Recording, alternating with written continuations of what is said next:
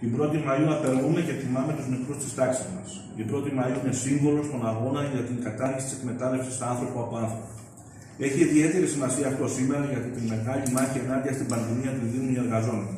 Οι εργαζόμενοι στα πολύπαθα νοσοκομεία της χώρας μας, εκεί όπου η κυβέρνηση έταζε προσλήψεις και δεν έχουν τα απαραίτητα μάσκες, γάντι. Οι εργαζόμενοι στα σούπερ μάρκετ και όλοι εκείνοι οι εργαζόμενοι που στηβάχτηκαν στους χώρους δουλειά του χωρίς κανένα μέτρο προστασίας.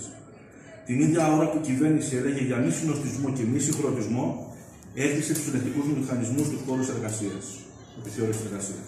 Και έριχνε την ευθύνη στους εργαζόμενους και στους πολίτες. Και σαν να μην έφτανε αυτό, έφτανε νόμους και διατάξεις που τσακίζουν τα εργατικά δικαιώματα με πρόσχημα την υγειονομική κρίση. Βέβαια δεν ακούμε και δεν βλέπουμε τίποτα από όλα αυτά, τα μεγάλα μουμουέ, γιατί φυσικά αν το έκαναν αυτό, πώς θα έπαιρναν και αυτά μέρος στο χώρο των εκατομμυρίων που μοιράζει η κυβέρνηση. Έχουν καταδείξει τα γραφεία τύπου υπουργών και μετέρων. Η επικοινωνιακή προπαγάνδα αυτών των ημερών έχει ξεπεράσει κάθε προηγούμενο. Δεν τους ενοχλεί ο συνοστισμός στις τράπεζες, δεν τους ενόχλησε η συναυλία με το φορτηγό που πέρασε μπροστά από μέγαλο Μαξίμου με δεκάδες πολίτες και παρουσία του ίδιου του Πρωθυπουργού.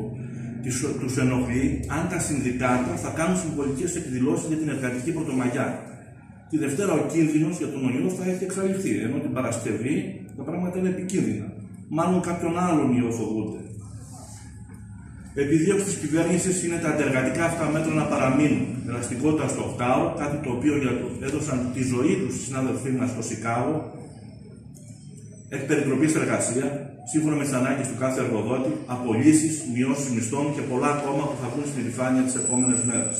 Εμείς δεν θα το επιτρέψουμε αυτό. Οι εργαζόμενοι δεν θα πληρώσουν ξανά το λογαριασμό τους.